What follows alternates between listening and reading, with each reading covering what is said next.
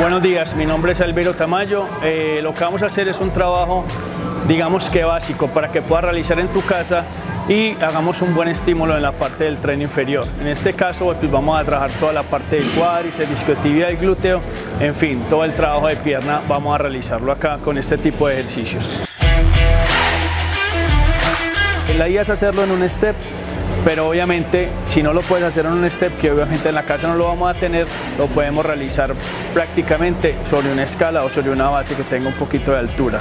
Entonces, sencillo, sería pararnos en la parte superior, vamos a buscar básicamente que la espalda esté totalmente extendida y vamos a bajar teniendo en cuenta que todo el peso del cuerpo esté sobre esta pierna.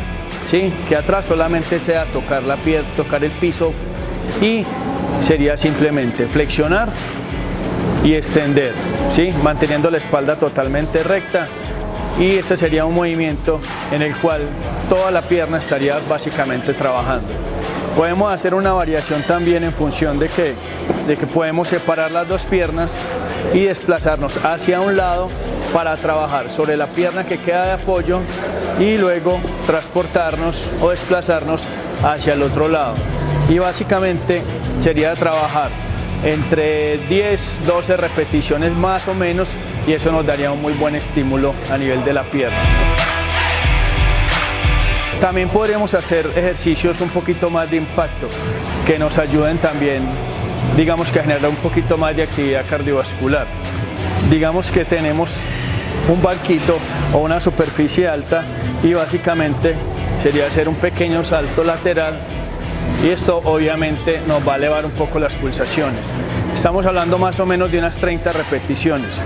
Ahora, si no tengo el banco para desplazarme, también podemos hacer básicamente este tipo de movimientos, ¿sí? que también serían más o menos entre 30 repeticiones. Si combino estos dos ejercicios, pues básicamente vamos a tener un muy buen trabajo de pierna. ¿ok?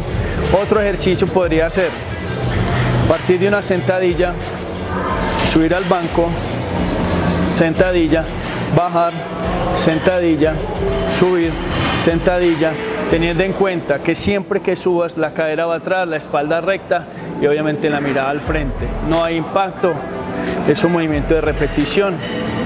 Sería subir unas 15 veces con una pierna y luego otras 15 veces utilizando la otra pierna para compensar.